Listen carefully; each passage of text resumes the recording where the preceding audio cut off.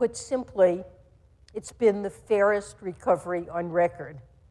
We see this in gains not only for middle class Americans, but also across demographic groups, such as the rapid decline in unemployment rates for black and Hispanic Americans.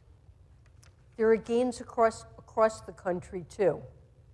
Before the pandemic, the unemployment rate was nearly 20% higher in rural than in metropolitan areas, and that large gap has been eliminated.